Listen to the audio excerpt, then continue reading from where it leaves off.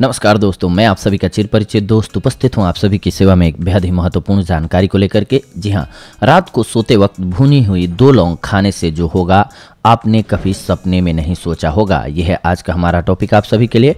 वर्तमान समय में प्रदूषण के कारण सांस लेना मुश्किल हो गया है। हम प्रत्येक सांस के साथ अपने शरीर के अंदर कई प्रकार के कीटाणुओं का सेवन करते हैं, एवं अधिक भाग दौड़ के कारण हम अपने शरीर पर वैसे भी कम ही ध्यान दे पाते हैं, जिससे हमारा स्वास्थ्य काफ़ी कमज़ोर रहता है या हमें कई प्रकार की बीमारियाँ होती रहती हैं, जिसके लिए हम कई प्रकार की दवाओं का सेवन भी करते हैं, जिससे हमें आर्थिक नुकसान काफ़ी होता है। लौंग तो आप सभी ने देखी होगी, या फिर आप उसका सेवन भी करते होंगे। ज़्यादातर इसका सेवन आप सब्ज़ी का स्वाद बढ़ाने के लिए करते हैं या फिर छोटी मोटी बीमारियों में भी इसका सेवन होता है। दोस्तों, आज जो हम आपको उपाय बताने जा रहे हैं और अगर आप वह उपाय करते हैं तो आपको काफ़ी समस्याओं से छुटकारा मिल जाएगा। अगर आप रात को सोते वक्त दो या तीन लौंग अंगारों पर सेक कर, अर्थात भून कर खाएँगे तो इससे आपको काफ़ी फ़ायदा होगा।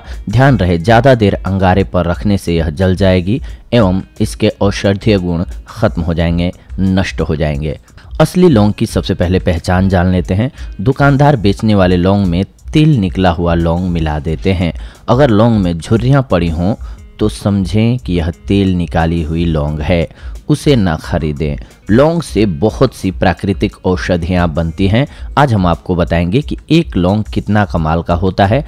आइए जानते हैं लौंग के फायदों के बारे में। रात को लौंग से होने वाले सात फ़ायदे।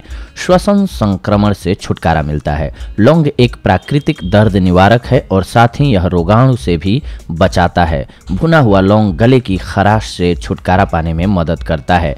दांत दर्द से आराम। जी हाँ आप कपास के एक टुकड़े की सहायता से थोड़ा सा लौंग का तेल या भुना हुआ लौंग का चूर्ण, पीड़ादायक दांत या अपने मसूड़ों पर लगाकर दर्द को कम कर सकते हैं। इसके अलावा यह संक्रमण को भी कम करेगा।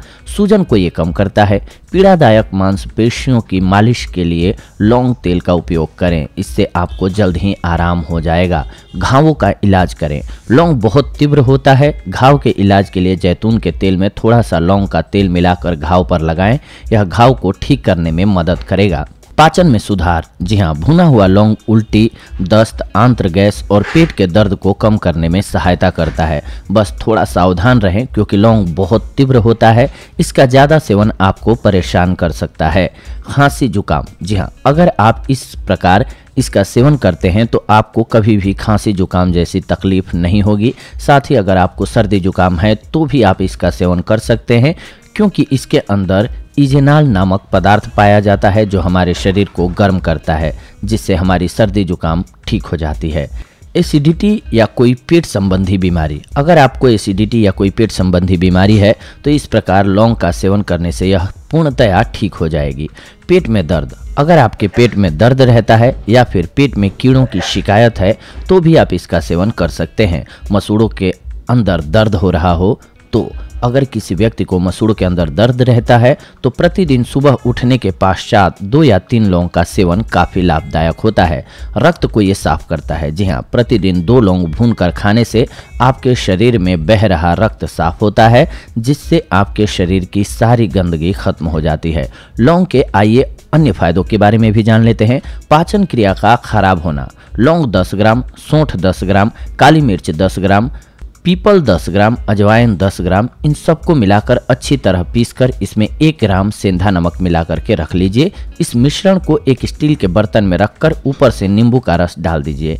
जब यह सख्त हो जाए, तब इसे छाया में सुखाकर पाँच पाँच ग्राम की मात्रा में भोजन के बाद सुबह और शाम को पानी के साथ लीजिए, आपको लाभ होगा।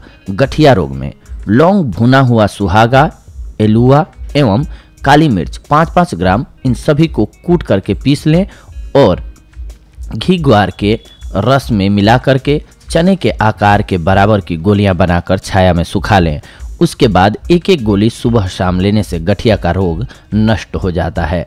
चक्कर अगर आपको आ रहा है तो सबसे पहले दो लौंग लें और इन लौंगों को दो कप पानी में डालकर उबाल लें फिर इस पानी को ठंडा करके चक्कर आने वाले रोगी को पिलाने से चक्कर आना बंद हो जाता है। साइटिका में लौंग के तेल से पैरों पर मालिश करने से साइटिका का दर्द खत्म हो जाता है। टॉन्सिल का बढ़ना। एक पान का पत्ता, दो लौंग आधा चम्मच मुलेठी, चार दाने पीपरमेंट के एक गिलास पानी में मिला करके काढ़ा बनाकर पीना चाहिए। टॉन्सिल बढ़ना कम हो जाता है। दांतों में अगर दर्द हो रहा है तो पाँच ग्राम नींबू के रस में तीन लौंग को पीस कर मिला लें। इसे दांतों पर मलें और खोखल में लगाएँ। इससे दांतों का दर्द नष्ट हो जाता है। दमा या श्वास रोग में। दो लौंग को 150 मिलीलीटर पानी में उबालें और इस पानी को थोड़ी सी मात्रा में पीने से अस्थमा और श्वास का रुकना खत्म हो जाता है। दांतों में अगर कीड़े लग गए हों तो कीड़े लगे दांतों के खोखल में लौंग के तेल को रुई में भिंगो कर रखें। इससे दांत के कीड़े नष्ट होते हैं और दर्द कम होता है। अगर आपको कब्ज है तो लौंग 10 ग्राम, काली मिर्च 10 ग्राम अजवायन 10 ग्राम लाहौरी नमक 50 ग्राम और मिश्री 50 ग्राम, इन सभी को पीसकर छानकर नींबू के रस में डाल दें। सूखने पर 5-5 ग्राम, गर्म पानी से खाना खाने के बाद खुराक के रूप में लें, आपको लाभ होगा। अगर आपको कमर दर्द है तो लौंग के तेल की मालिश करने से कमर दर्द के अलावा अन्य अंगों का दर्द भी मिट जाता है। इसके तेल की मालिश नहाने से पहले करनी चाहिए, ताकि आप नहा करके फ्रेश हो सके। जी हाँ दोस्तों तो ये थी आज की जानकारी। आप सभी के लिए अगले एपिसोड में आप सभी के साथ जुड़ते हैं एक और बेहद ही महत्वपूर्ण जानकारी को लेकर के। तब तक के लिए धन्यवाद। नमस्कार दोस्तों।